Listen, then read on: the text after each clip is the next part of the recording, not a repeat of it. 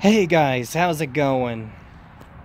The last few days it's been raining, and um, now that the sun is out, the air is somewhat warm, I figured this would be a perfect time to review some Renaissance pictures. Like, um, this one. Also, I should probably warn you guys there's going to be some religious opinions about this. So, if you have a problem with religion or God in general, anything on those lines, then um, I advise you to leave because I'm going to be talking about that. And you should really give me some credit because I warned you.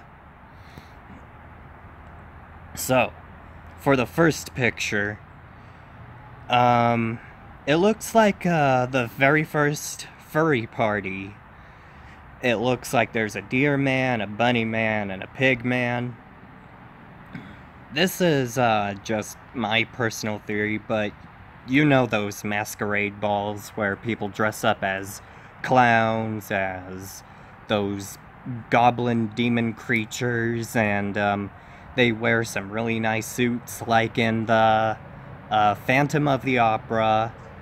Um, uh, there's another one.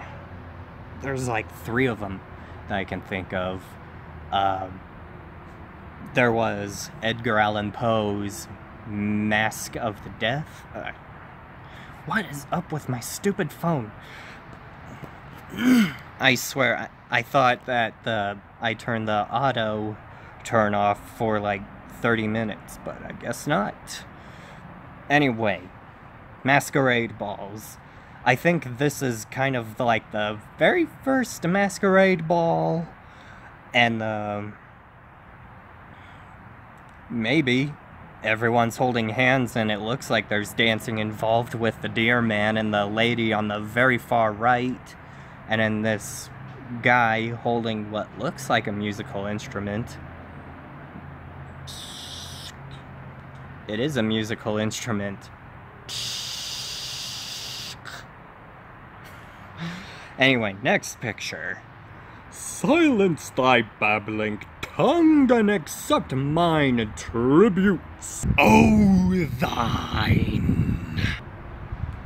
Killer rabbits.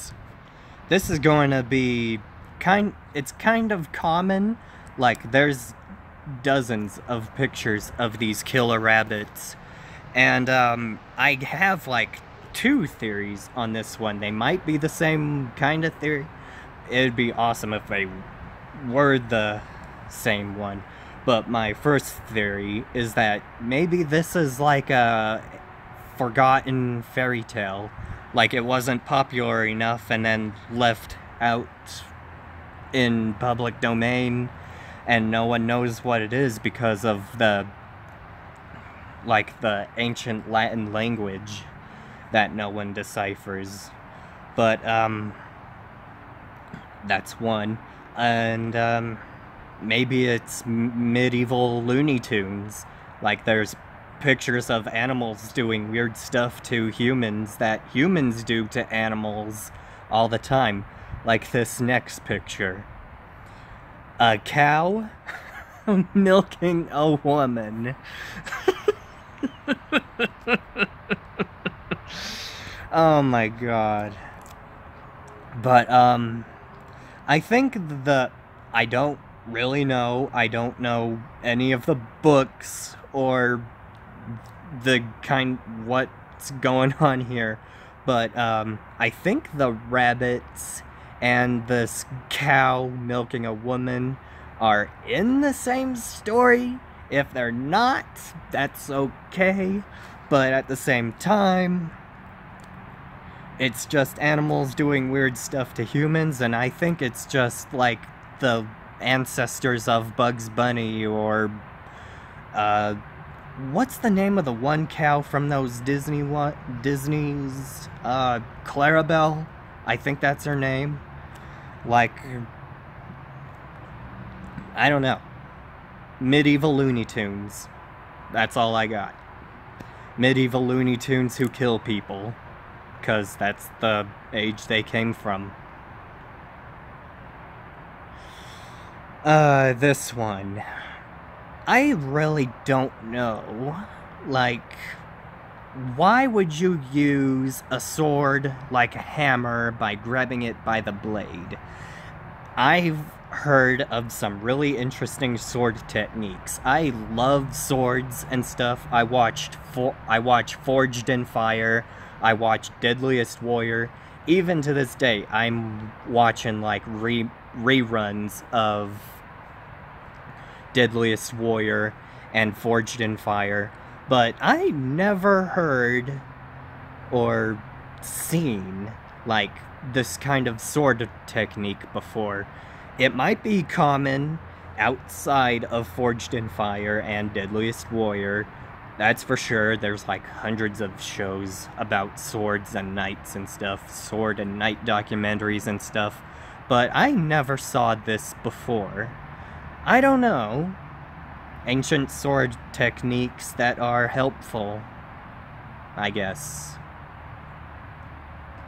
Here's a, another common one. Uh, snails attacking knights, or knights attacking snails. This is just one of them.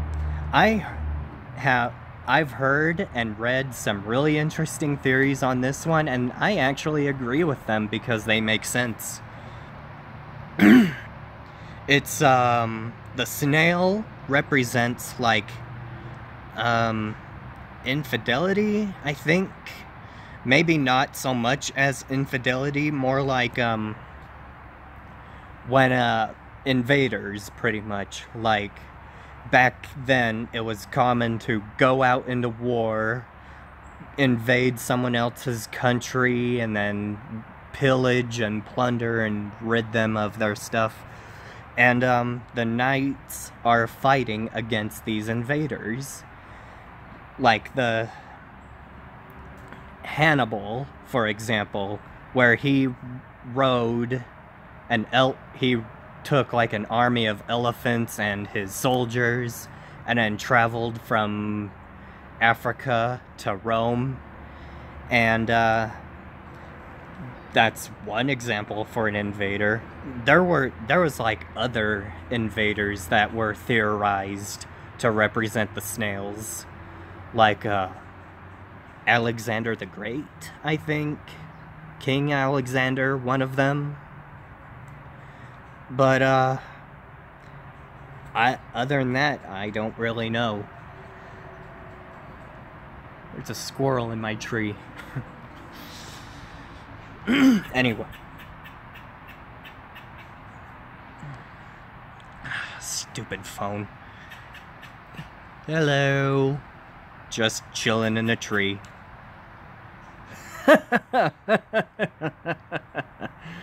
uh, this one. I really love this one.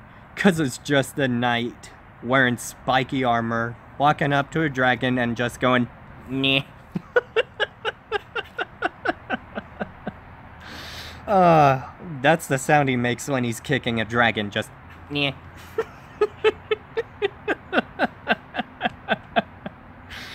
uh, but where this picture come from? Uh, personally, just like I said about the ancient Looney Tunes stuff, the medieval Looney Tunes, I think this one came from a story no different than um, St. George and the Dragon, uh, King Arthur or Beowulf, where they're fighting dragons. Okay, King Arthur did not fight dragons, it, according to the version of King Arthur that I have. but, um, on the lines of, say, St. George and the Dragons, The Reluctant Dragon, um, Beowulf, The Lord of the Rings. This, just like on those kinds of terms, like maybe this is from a book no one's heard of again.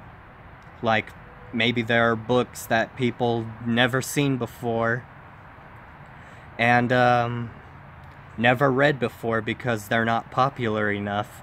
So maybe this knight, shit, this knight fighting a dragon in spiky armor, Yeah.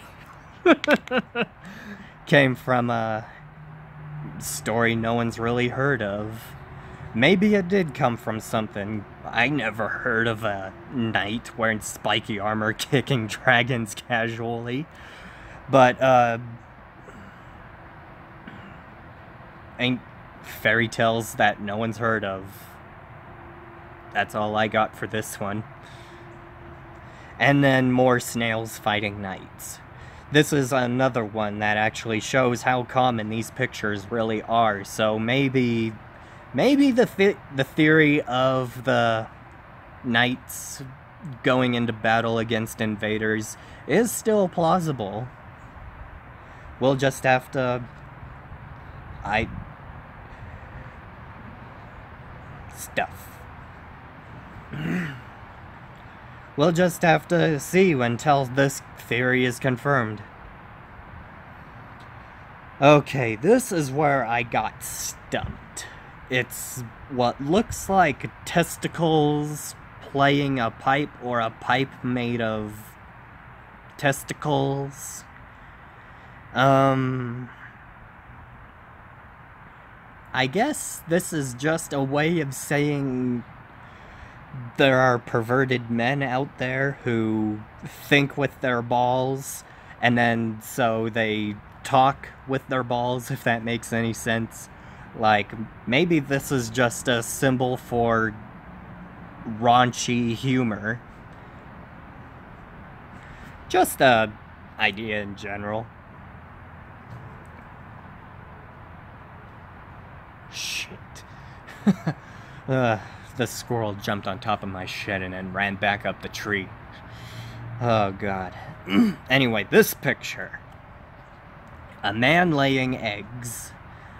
I think this picture is like a symbol for um like a let's say this man is like a brilliant goose and chicken farmer and then this like someone drew a picture of him and uh, this picture is supposed to be like, this man is so good at his job. He is so good at chicken farming and he's so. He's rich because of all the chickens and eggs that he sold from those chickens that he must have laid eggs himself. It's a really interesting metaphor, and I'm actually behind this theory all the way. Like, maybe that's what it is. Okay, this is, uh, um, medieval proctology, gynecology, and suppositories. That's all I have to say about this one. What looks like a blue horse with a long pretzel neck and the head of a monkey. I believe that there are animals that have gone extinct maybe a thousand years before, maybe thousands of years ago. There were some animals that have gone extinct, and maybe this animal is one of them, only I don't know about the pretzel neck. The twisted pretzel neck, but... Um... I don't know. Maybe it's an animal that represents another animal who's gone extinct. Maybe. I don't know. Medieval porn. Nuff said.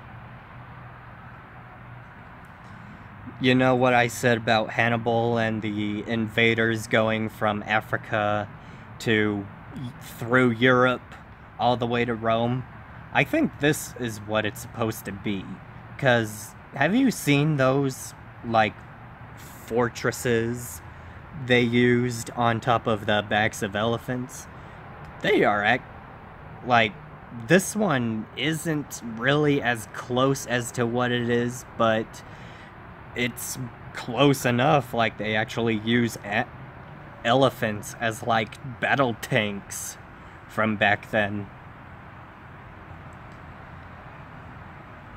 More ancient fairy tales, only this one is on the line of who killed Cock Robin. For those of you who don't know who killed Cock Rob, what who killed Cock Robin is, it's um pretty much a fairy tale story about a bird who's been murdered, and then it's a murder story, like a cold case, forensic files on who killed Cock Robin, pretty much. And there's birds, there's bulls, and uh, it's kind of depressing, really. Okay. I've been looking at this one for a while now. And uh, I think it's the symbol of marriage and unity. Like, two mermaid. One is a merman, one is a mermaid.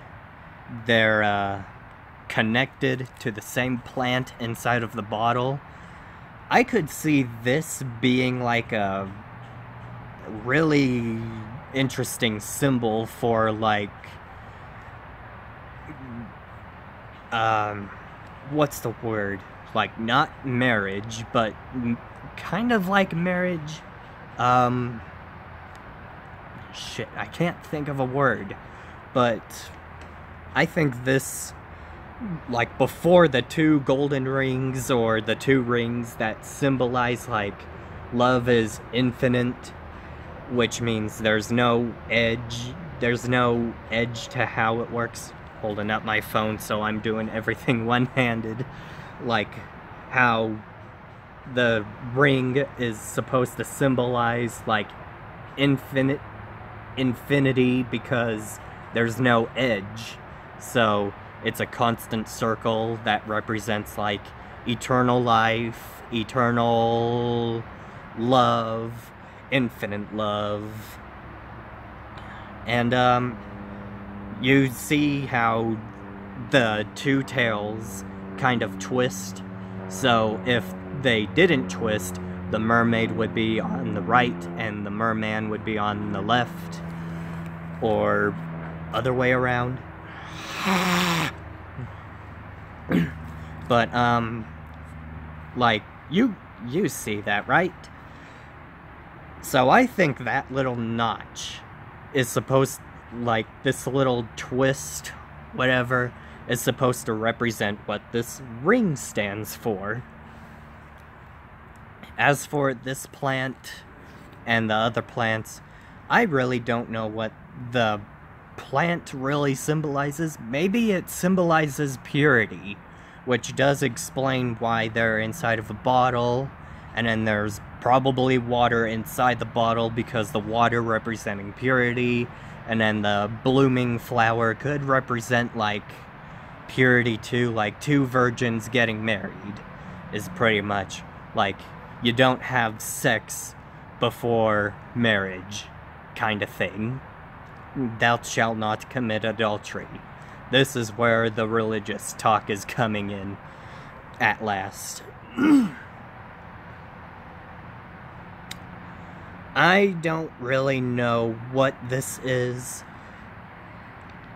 Um, I can probably see how some religious symbolism is in this one because of the sun and moon and the lady and the sacrificing children inside of a well. But to be kind of honest with you, I don't really know what's going on here. Maybe they're sacrificing and uh, or doing some ancient medicine that we never heard of. I don't really know. Okay, this is where the re where I can see how this is probably the most religious symbol, the most religious symbol, symbolic nature of religion comes into play. Like, maybe the king with the sun over his head represents God. This mermaid with that one symbol over her head, I... I think... I don't know where I saw that symbol before. But the one on the moon represents like Jesus or the middle class angels. And then the star represents Satan and he's pouring his substance into the river. Like, Satan isn't joining this river bath, isn't in this taking a bath with the representation of, with the sun the representation of the moon with the mermaid. Um, so I don't really know. Maybe it's a symbol that the devil has tainted our purity, like we're taking a bath with God and Jesus in a way, and then Satan is just pouring his impurity onto the earth. Maybe only the earth, the river itself represents the earth.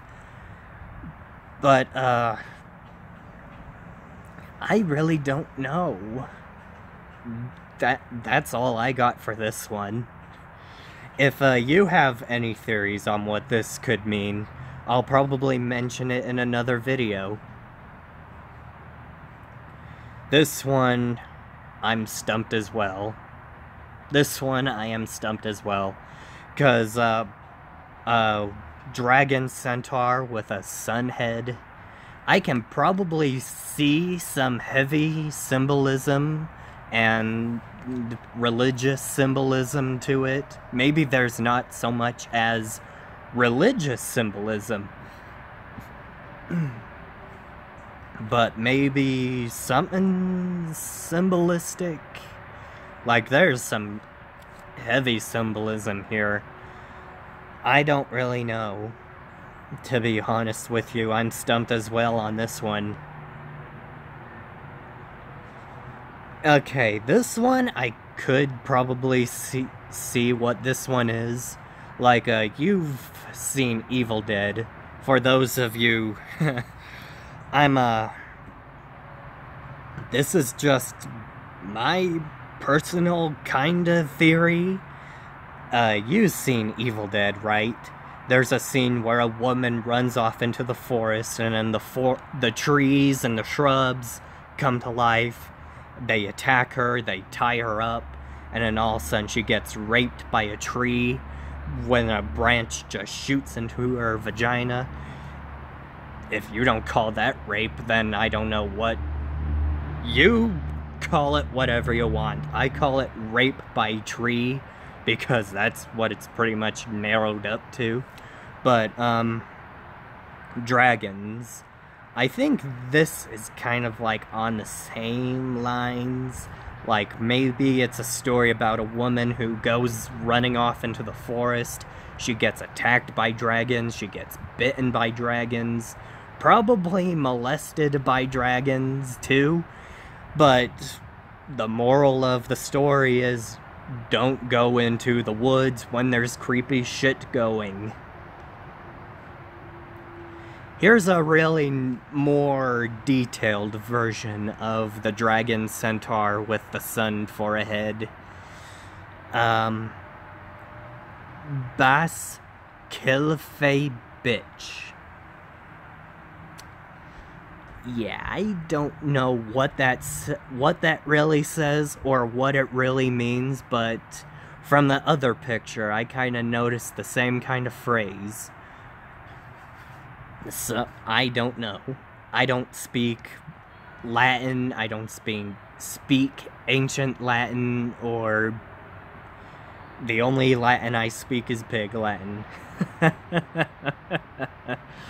But other than, other than that, I don't know, really. uh, this one. to me, I think this is like a symbol for like God bless you, like when you sneeze, someone says God bless you because of the ancient plagues. They think that you're dying because of a sneeze, so they say God bless you, and I don't know. I think it's kind of odd to bless someone after farting, like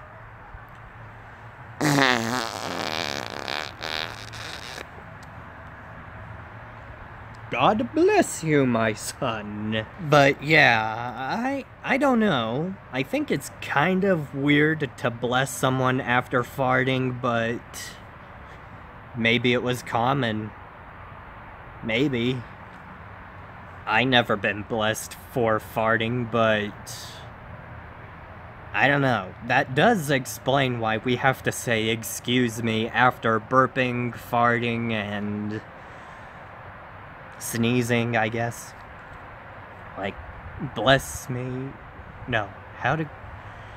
Excuse me? I guess. I don't know. You have to beg for forgiveness for farting. I never really understood that, to be honest with you. Burping, sneezing, and farting. I never understood why we have to excuse ourselves for doing it. I have no control over farts, sneezes, and burps. So why should I apologize for that? I have no full control of what my body wants to do. But yeah, I don't know. Blessing someone for farting. I... I don't know. Maybe it was common. Maybe it wasn't. Maybe I'm just reading the picture wrong. I don't know. I'll make a part two uh, if you have any comments on what this picture is, I'll probably mention it in the next video. Okay, here is some really interesting symbolism comes in. This um, kind of reminds me of the original Hans Christian Andersen story of Chicken Little. For those of you who don't know, the story ends with Foxy Loxy leading to a bunch of the like scared geese and chickens and all those other birds to a sanctuary because the sky is falling. Chicken Little gets hit on the head with an acorn and then all everyone's running around in a panic. The sky is falling, the sky is falling. And then all of a sudden Foxy Loxy is like, come into my cave, it's safe. And then everyone goes into the cave because it's safe, only to find out that they all get eaten because of Foxy Loxy. He eats everyone. So maybe this is kind of like a symbolistic like a sim a symbol of like um or a representation of the corrupted church from back then like maybe the dog or fox wolf whatever represents the corrupted side of a catholic and or orthodox catholic or orthodox christian church. And all the geese and chickens are just the rep are representing the majority of people who are following the sorry who are following the corrupted church and just the sheep to slaughter pretty much okay I really don't know what this is.